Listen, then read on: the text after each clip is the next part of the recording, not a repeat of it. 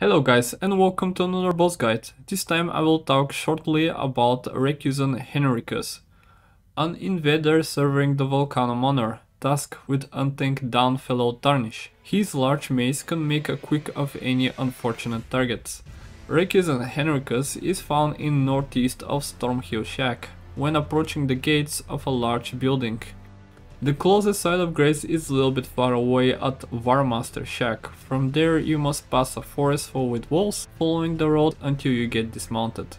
Once you get off the horse, you should encounter him. He's one of the first invaders in the game after Bloody Finger Nerijus, and for the fight I won't go too much into details since his attacks are very slow and simple. You can counter back almost every single attack, he has stagger and you don't even have to roll back to avoid the attacks.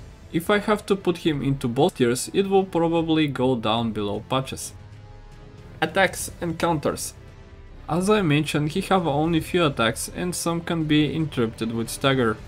Most of the time he will swing his mace, slamming it to the ground, or from right to his left, or jumping combo. His special attack is when he holds the mace with two hands and smash it to the ground with explosion when he pulls it out, leaving fire for short duration at the ground that he hit. After defeating him, you will be rewarded with Hammer Talisman that increases stamina damage against blocking enemies by 20%. And that's everything for Recusant Henricus. I'll play the whole battle again, so you can see how it looks like, and I'll see you on the next boss.